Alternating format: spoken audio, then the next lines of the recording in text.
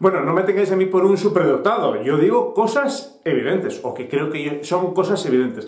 Me criticaba ayer uno en un grupo de Facebook, eh, me llamaba el eh, ahora somos todos capitán a posteriori. Esta es la frase de Echenique, Echenique, el que negó la pandemia, el que, recordaros, decía eh, que los periodistas exageraban todo. Cuando empezaron a dar las noticias el año pasado por febrero, que los periodistas eran unos alarmistas, vamos.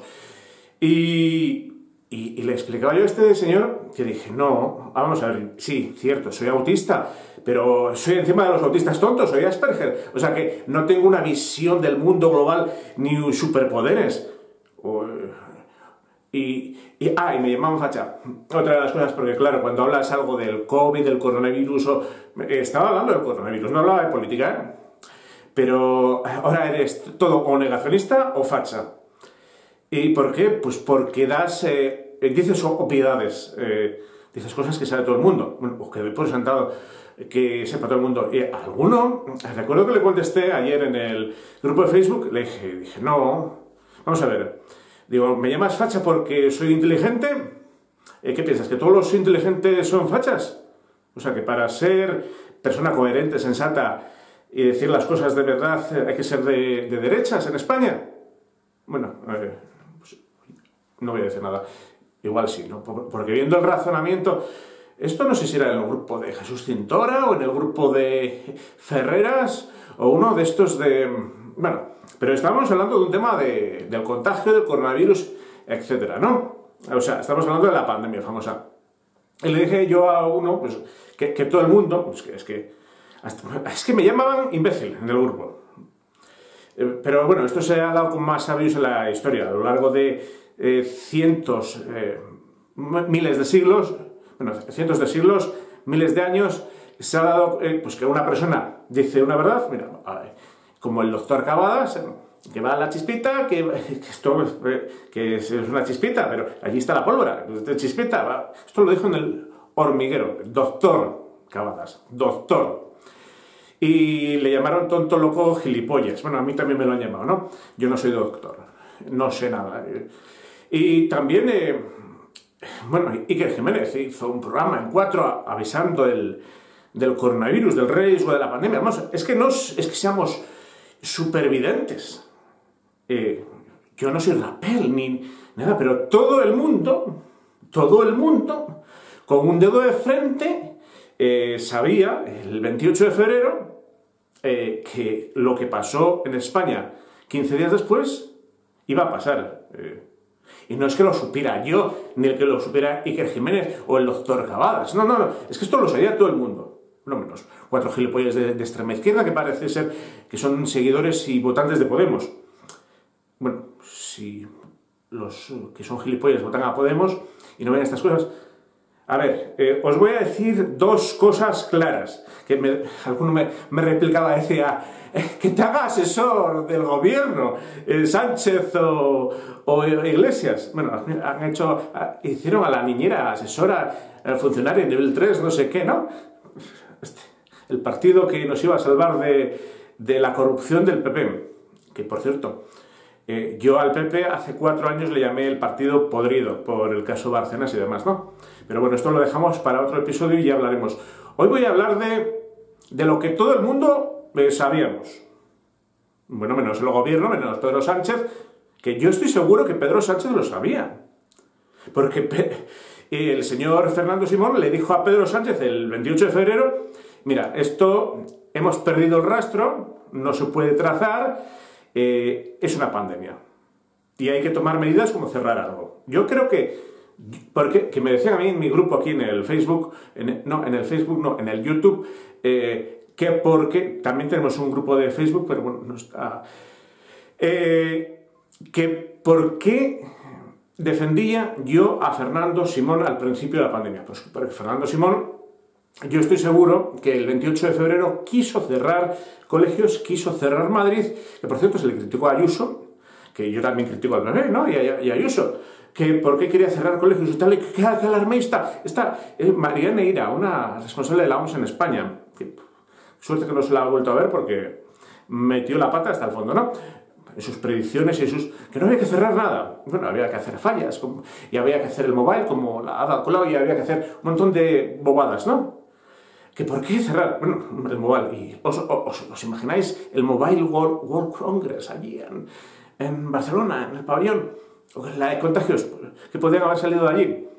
Suerte que los organizadores no lo hicieron. De hecho, quisieron hacer un paralelo y tal. Y no lo hicieron porque se marcharon los que iban a poner el stand sino ella con sus 13. Pero bueno, hicieron el, el 8M, pues, que no, no tiene nada que ver porque los contagios tal... Es tres días después, justamente. ¿Cuándo se declaró el estado de alarma? tres días después. ¿Cuándo se contagió el no, no tiene nada que ver, ¿no? Ahora, como tampoco lo de las vacunas, ¿cuándo se detecta el coronavirus en una persona? O se manifiestan los primeros síntomas. Dicen todo el mundo que eh, tres, cuatro días después. 8 mm, de marzo, 14 mm, de marzo, estado de alarma. Vamos a ver, eh, a Pedro Sánchez lo echaron de su partido. Y yo apoyé a Pedro Sánchez y me dio penita al pobre hombre eh, que le echaron del partido. Cuando a Pedro Sánchez le echaron los varones del PSOE, es porque le conocían bien, mejor que yo. Yo le apoyaba, porque me dio penita. Y fue con su coche buscando, haciendo campaña. No, a ver, si le echaron porque era un in, no voy a decir inútil, inepto, incompetente, porque un señor que no tiene huevos para tomar decisiones cuando hay que tomarlas. Pero esto se ha visto, vamos a ver. Eh, ¿qué, ¿qué, haber pasado en, España? Pues ser China. ¿Qué pasó en China? Eh, fueron, mira que están gobernando los mismos, ¿no? Comunistas chinos, comunistas de Podemos, ¿no? Podrían haber tomado la decisión comunista. ¿Y qué hicieron en China? Cerrar una ciudad, una, ciudad, pandemia, Wuhan. Y bueno, sí, tiene 11 millones de habitantes. ¿Qué le vamos a hacer? Las ciudades chinas tienen muchos habitantes. Y bueno, ¿dónde iban los chinos a celebrar el Año Nuevo Chino? A la ciudad del lado. Cerraron esas dos ciudades, dos ciudades. En España podríamos haber cerrado Valencia, sí, los 3.000 aficionados de, del Atalanta que fueron a ver el fútbol, que luego querían todavía celebrar el, el partido de vuelta en Valencia eh, y, les parecía mal hacerlo a puerta cerrada y bueno, querían celebrar fallas y cedieron mascletas y no sé cuántas multitud, cosas multitudinarias, bueno, como el, 8, el 8M, ¿no? Bueno, eh, si hubiesen confinado Valencia y hubiesen confinado Madrid cuando se fue el virus a Madrid, no se hubiese distribuido a toda España. Pero es que esto lo sabe cualquiera. Y no hace falta que me paguen a mí un sueldo de asesor del gobierno, porque es que esto se lo, estoy seguro que se lo dijo Simón, cierra Madrid y no le hicieron ni puñetero caso. Y luego, que luego se vendió Simón al gobierno y dice lo, que quiere oír el gobierno y lo que quiere Pedro Sánchez que se diga, también. Por eso ya ahora no estoy a favor de Simón. Vale, eh, que lo, el virus se iba a expandir por toda España si no cerrabas fronteras, porque claro, si tú tienes el virus y le cierras, queda en ese sitio. Es que lo han dicho los médicos en la sexta y en todos los sitios. tienes una persona con gripe y la tienes en casa, pues en su habitación en su habitación contagia a los que hay en otra habitación. Pero si la tienes por la calle yendo al bar, bueno, del bar no es yendo a una sala, bueno, a donde sea, o al supermercado, pues esa persona puede estornudar, esto estoy hablando de pues, en 2018, y contagiar la gripe a más gente con la que se encuentren, ¿no? Si esto es un razonamiento, no hace falta ser experto epidemiólogo para saberlo. Cómo se contagia el virus de la gripe, ¿no? Pues el virus, el SARS-CoV-2 o el COVID-19 o el coronavirus este famoso se contagia igual. Eh, si hubiesen sitiado Madrid y Valencia, incluso unos barrios como... Le critican a Ayuso que confine barrios. Mira, en Wuhan confinaron bloques de viviendas, de pisos. Y esto también lo hizo el señor Revilla en, en Torrelavega, Cantabria, en España. O sea, ¿dónde hay muchos infectados? En este bloque de edificios. Pues cierras el bloque de edificios. ¿Para qué vas a joder toda una ciudad? ¿Por qué no me dejaban a mí ir por mitad del monte, Pedro Sánchez, en abril, porque dijo que era estado de alarma y que había que hacer. O sea, primero no cierra nada y luego hay que cerrarlo todo. ¿Por qué hay que hacerlo todo? Porque se le descontroló. ¿Por qué se le descontroló? Porque no toma medidas. Esto es como si tienes una pequeña fuga de agua y no llamas al fontanero y dejes que reviente la tubería y luego se te inunda la casa, ¿no? Pues lo mismo. ¡Ay, qué listo eres! ¡Que no sé qué! Me lo decían con segundas, ¿no? En el Facebook. Eh, tiene que hacer experto asesor y pagarte. bueno, vamos a ver. Es que esto es evidente. Yo es que no estoy. Yo no. Me llaman pues por un lado gilipollas y luego me dicen que. Es que yo no digo más que obviedades. lo que iba a pasar en España en marzo estaba visto desde el 28 de febrero. ¿Y por qué yo supe lo que iba a pasar? Pues, pues joder, salió Fernando Simón en rueda de prensa. Si no lo dijo, no lo dijo, pero se le veía en la cara. Mira que los Asperger, para ver estas cosas en la cara, pero se le veía. Eh, eh, habrá que buscar la rueda de prensa del 27-28 de febrero, creo que fue el 28 exactamente, y, lo descompuesto que estaba. Y estaba diciendo una cosa, pero estaba pensando otra. ¿Y qué estaba pensando? Pues el virus está descontrolado, no podemos hacerle seguimiento, eh, o cerramos España, o se va a armar la de Dios y se va a contagiar todo el mundo. Claro, no dijo eso, dijo lo contrario. Que no pasa nada, que lo tenemos controlado, que van a ser 10 casos, y hacer el 8M todavía. Yo creo que hay yo creo, me da por pensar, que si Pedro Sánchez no cerró Madrid el 28 de febrero, como todo el mundo, no sé, todo el mundo gilipollas como yo, veíamos, es porque igual le dijo el socio de gobierno Podemos que hay que celebrar el 8M y hasta después del 8M no hagas nada. Me da a mí que pensar, igual me equivoco, no quiero equivocarme, porque no creo que un partido antepusiera un acto electoral, como es el 8M, porque se han apropiado de él, eh, sería lo de la mujer, eh, todo lo que quieras, pero se han apropiado de él, las unidades, eh, no, no sé cómo se llaman, unidades pademas, bueno, bien, a ver, los que me llaman a mí, mm, esto que dice capitán a posteriori, no. Lo mismo que estoy diciendo ahora, lo mismo, lo mismo, lo mismo. Lo dije yo el 28 de febrero.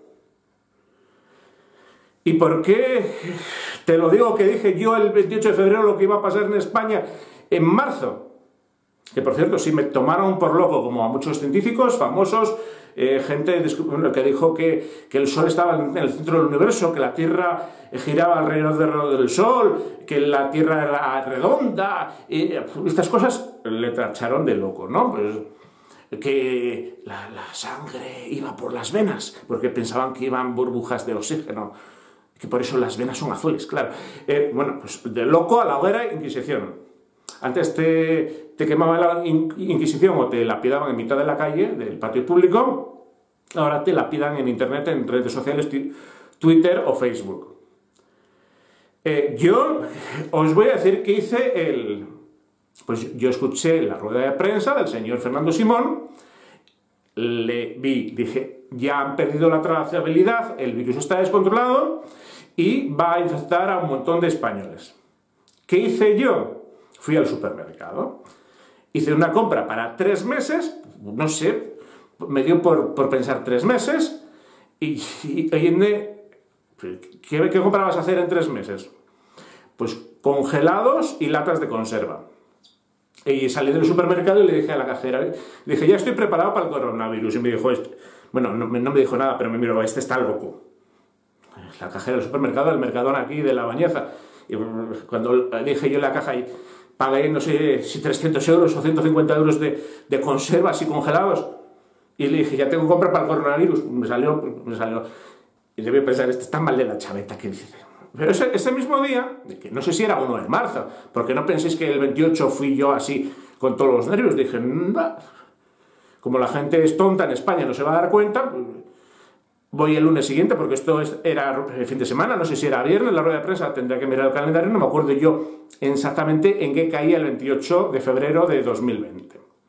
Pues yo pues, pasar el sábado, el domingo y el lunes, después de trabajar, todavía después de trabajar, o sea, hice las compras a las 8 de la noche, me compré mis mascarillas, nunca había comprado mascarillas en mi puñetera vida, fui a una tienda y todavía estaban baratas porque nadie pedía por ellas. Pero ya las tenían porque ya habíamos tenido de Italia, no sé qué había pasado. Y, el eh, turista alemán está en Mallorca, o no, en Mallorca no, fue en Canarias, en Tenerife. Bueno, pues ya tenían mascarillas. Si no las vendían, las tenían ahí en stock. Dije, me las voy a comprar. Yo tampoco muchas. Me compré un pack de cinco, me parece que venían. Bueno, las compré, me traje mi compra para tres meses y, y mis mascarillas. Y para, con la intención de bueno, yo tenía un viaje, me marché del viaje, porque lo tenía pagado un año antes, pero dije, ya verás cuando vengamos, gobernando a los incompetentes que nos gobiernan, cuando vuelva, está España de virus por todos los lados, ¿no? Encerrarme en casa y tipo búnker. Eh, de hecho, me acuerdo yo que aquel... Pues, las compras las hice el lunes por la noche, el martes y el miércoles todavía me fui al bar a tomarme el café y a la gente de mi pueblo, al, barman, y hay uno que es amigo y tal, Vicente, le digo, y Rafa, me parece que estaba allí, y, el bar, que se llama Manolo Loro, le, le ponen de mote, eh, me miró y dije, este está todo loco. Y, se rían de mí, a ver, se, se descojonaban. Y dice, este tío, te has comprado, no sé si les dije 150 euros o 300 euros, no sé lo que me gasté, unos 150 euros ya en conservas, y no sé si gasté otros 150 en, en congelados, tengo eh, el congelador tiene tres cajones grandes, eh, compré de todo, guisantes, menestra, para hacerme cosas o sea, frescas, pero congeladas, ¿no? Eh, verduras, vamos, eh, cosas frescas, comer verdura y tal.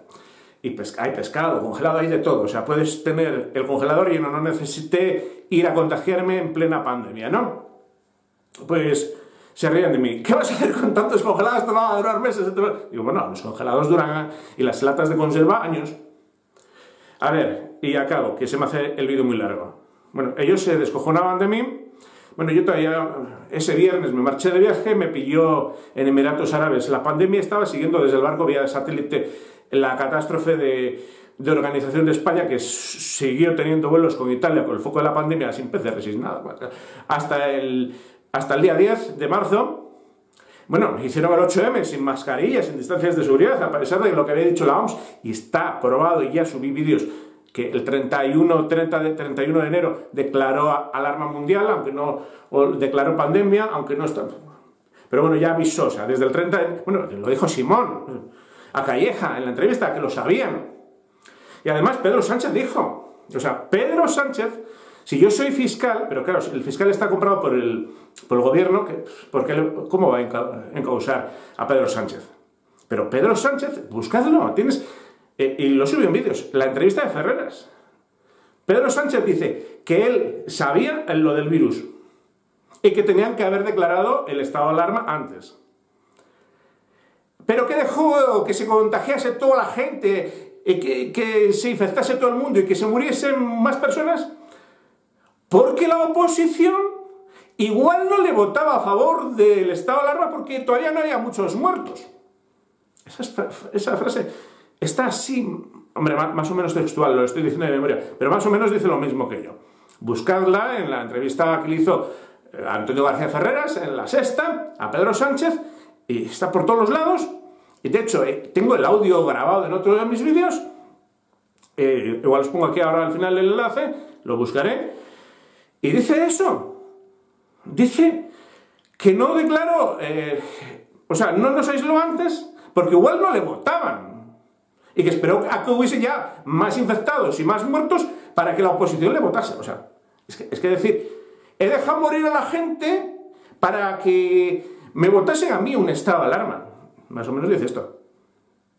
O sea, para meterle en la cárcel, ¿no? Y esto, este, este señor está presidiendo el gobierno de España y, llevando esto en las emergencias. Bueno, eh, os pruebo aquí. Entrevista de Ferreras, no sé por dónde irá. Las voy a poner por aquí eh, con un vídeo mío, claro. Eh, ¿Cómo sabía yo el 28 de febrero? Que no es que sea capitán a posteriori, yo lo dije a priori, o sea, yo avisé días antes. El vídeo está subido a YouTube el 29 de febrero. Lo grabé el 28, entre que edité y lo subí. Fecha de publicación en YouTube, 29 de febrero. ¿Qué decía yo el 29 de febrero de que iba a pasar en España con el coronavirus? Esto. Y, no solo avisé que iba a pasar lo de la primera ola, avisé lo que iba a pasar en la tercera ola el 21 de diciembre. Que, todo el mundo sabíamos que... Y no, no iba a ser lo de las comidas de Navidad que decía Simón, no, no. Iba a ser la cepa inglesa. Que le dije a Sánchez, cierra las fronteras, cierra los aeropuertos, no seas gilipollas, que en España estamos todos confinados en nuestras casas no vamos a ir a la comunidad autónoma al lado a celebrar la Navidad, nos vamos a quedar. No dejes que este hijo de esta señora de Madrid, sí, español, que está estudiando en Inglaterra, ni con PCR ni con hostias, venga de, Inglaterra a España. Porque todo el mundo sabemos que las PCRs es una foto de ese momento y que puede ser negativa y además que es muy inexacta. Puede venir ya contagiado con el virus, aunque la PCR le dé negativa, y trae la cepa inglesa a España. ¿Qué pasó? Pues que el 28 de diciembre no, había declarado nada, que siguieron viniendo 400 vuelos, que vinieron 90.000 españoles, sí, españoles ya, porque a los turistas ingleses de Inglaterra con su PCR negativa, pero tenían el virus. ¿Y qué tenemos ahora? Pues el resultado, la tercera ola, en Aragón y en todos los sitios, reconocen que la, sí, la curva creciente así de contagios, casi en vertical, se debe a la cepa inglesa. No es que yo sea el capitán a posteriori ni sea eh, superdotado ni inteligente, pero es que se veía venir. Cepa inglesa más contagiosa, cierra fronteras, no dejes venir a nadie de Inglaterra. Que si yo no voy de aquí, de León a Vizcaya, a ver a mis padres para pasar la Navidad, para, por si acaso no les transmito, este español que está estudiando, que está trabajando en Inglaterra, ¿cómo va a venir de Inglaterra a pasar la Navidad a España habiendo la cepa inglesa que ya se sabía, pero es que esto se sabía el 21 de diciembre. 20 países del mundo cerraron el 21 de diciembre las fronteras y, el, Pedro Sánchez estaba esperando que la Unión Europea dijese algo. Vamos a ver, tú no eres presidente de gobierno. No tienes que tomar las decisiones tú. Toma las decisiones. Y con la cepa brasileña no sé qué, ahora sudafricana, al final parece que algo ha hecho tarde, es que virus, cuando te enteras de que existe la cepa inglesa, ya puede haber casos de cepa inglesa en España. Primer día, el primer día, el 21 de diciembre, ¡pum! Todo, 20 países de la Unión Europea, y además di la, lista en este vídeo, pues cerraron fronteras. España no. España ha seguido trayendo vuelos, trayendo virus. Hay contagios, contagios, contagios y muertes. ¿Quién será el responsable? Bueno, yo, a veces que me siento tonto porque hago vídeos explicando cosas obvias de un gilipollas, porque un gilipollas que vea estas cosas, pues siendo tan tonto, como soy tan tonto veo estas cosas, digo, no salgáis de casa, os cuidado con el virus, que va, que va a venir la primera ola, 28, 29 de febrero. Eh, cuidado con la cepa inglesa, 21 pues, de diciembre. La gente no me oye, no me hace caso, luego... Bueno, todavía igual eh, Pedro Sánchez me denuncia por eh, llamarle imbécil, cierra las fronteras. Pero claro, oye, el, malo no es el que deja las fronteras abiertas, viene gente, trae una cepa nueva, contagia a un montón de personas, que muere alguna de esas contagiadas. No, no, el malo parece ser que es quien, dice las cosas así como yo. Está el mundo al revés, ¿eh? Bueno, tienes al Baltónico, este, al, al, ruso, que primero le envenenan, le quieren matar y como mientras está en el hospital no, se puede presentar a uno no sé qué, a una citación judicial o lo, que tenía, ahora tres años de cárcel. No está en la cárcel quien le envenenó, no, no, no. Entonces, y en España pasa lo mismo, esto no está en la cárcel ni condenado eh, ni nada que, no ha hecho nada o que han puesto en, riesgo la vida de la gente. No, no. Detienen todavía a la gente que se atreve a decir la verdad y advertir. Eh, mañana estoy yo preso. Pues ¿por qué? Porque aviso de a la gente de algo. yo tendría que pasar de todo esto del YouTube, que me censura los vídeos porque digo las verdades, y de pasar de todo el mundo, porque encima me, meto en líos. Pero joder, a mí me importa la gente, a otros no, los políticos ya viven en mansiones y ganan miles y miles de euros al mes y, van a seguir cobrando aunque no trabajen, esto no les importa nada, y, el malo soy yo por avisar. Pues mejor me callo, igual no, haya mejor no avisando a nadie ni diciendo cosas obvias, porque quien va a votar a Pedro Sánchez y a Pablo Iglesias les va a seguir votando, aunque muera media España, mañana de... Igual el 8 de marzo hacen otra nueva manifestación, ¿no? Pues estaría bien. Y la gente seguro que iría, porque la gente pues ya ha bajado, igual la tercera ola y hay que... bueno, lo decía la Cristina Almeida esta, ¿no? Que, que, había que ir sí o sí, aunque se contagiase del coronavirus. Y Anabel Alonso, y no es un contagiante más, dijo que había que ir allí, estar y... Sin mascarilla, contagiando sin virus respiratorio, para infectar a todas las familias y matar a todos. La gente es ignorante. Ignorante, gilipollas. Eh, pero bueno, si no les da para más. Muy buenos días. Si te gusta nuestro canal y quieres seguir viendo más vídeos como estos, suscríbete. Es gratis y YouTube te avisará cada vez que subamos un vídeo. Y si te ha gustado este vídeo, dale un like. Muchas gracias.